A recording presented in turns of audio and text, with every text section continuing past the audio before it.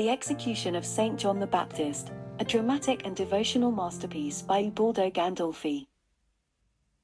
Ubaldo Gandolfi, 1728 to 1781, was a leading painter and sculptor in Bologna, where he worked for the court, the church, and the nobility. He was known for his expressive and elegant style, influenced by the classical and Baroque traditions.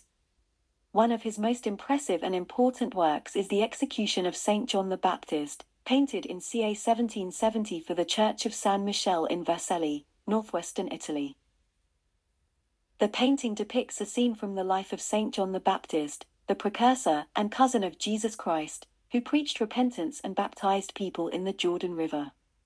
The painting shows the moment when he is beheaded by the order of King Herod, who had unlawfully married his brother's wife, Herodias.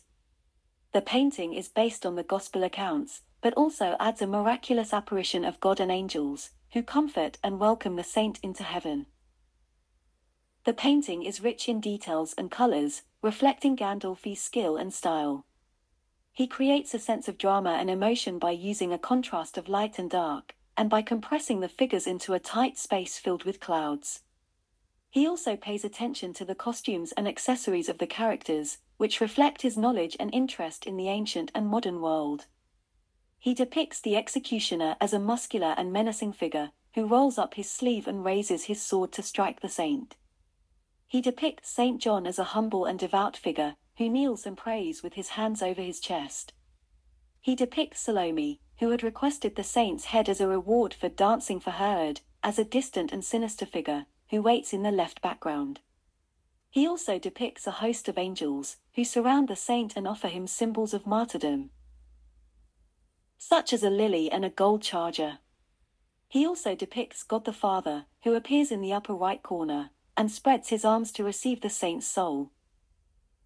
The painting was commissioned as an oil sketch, or modello, for a large altarpiece that would be placed in the Church of San Michele in Vercelli.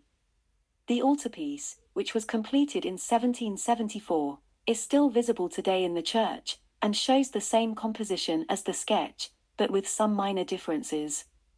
The painting was also accompanied by a trompe-l'oeil with a painting of the Man of Sorrows on the reverse, which refers to the patron, Abbot Jacques Coin, whose crozier, or hooked staff, is also depicted on the marbleized surface.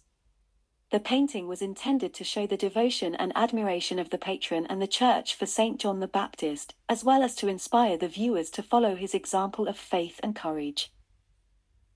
The execution of St. John the Baptist is a masterpiece of drama and devotion, that reveals Gandolfi's artistic vision and talent.